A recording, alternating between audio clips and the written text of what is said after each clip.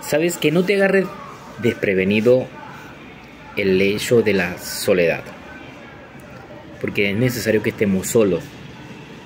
Solo que hay momentos en que esa idea que muchas personas tenemos de la compañía quizás es errónea. Porque no necesitamos realmente a alguien al lado nuestro para ser feliz realmente. Y esto lo he podido vivir en este corto tiempo que me ha tocado vivir en soledad. Y una de las mejores cosas que he encontrado es que te da tiempo para ti, te da tiempo para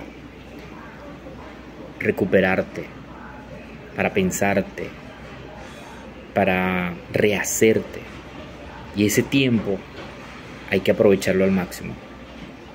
Porque es verdad, ¿no? En algún momento va a venir alguien y va a aparecer alguien que va a compartir tu vida. Y esos pedazos que quedan ahí quizás rotos, si no los enmendas, si no los reparas, si no los sanas, entonces con la carga, con la fuerza con la que venga la otra persona, que bien puedas arrastrar o no, o pueda acompañarte, eh, se te pueden romper nuevamente. Y es por eso que es muy importante que ese tiempo en soledad puedas utilizarlo para repararte. Que no te descuide, que no te agarre por descuidado. No te preocupes, si te toca ir a la soledad, pues enfréntate a la soledad con todo gusto y placer.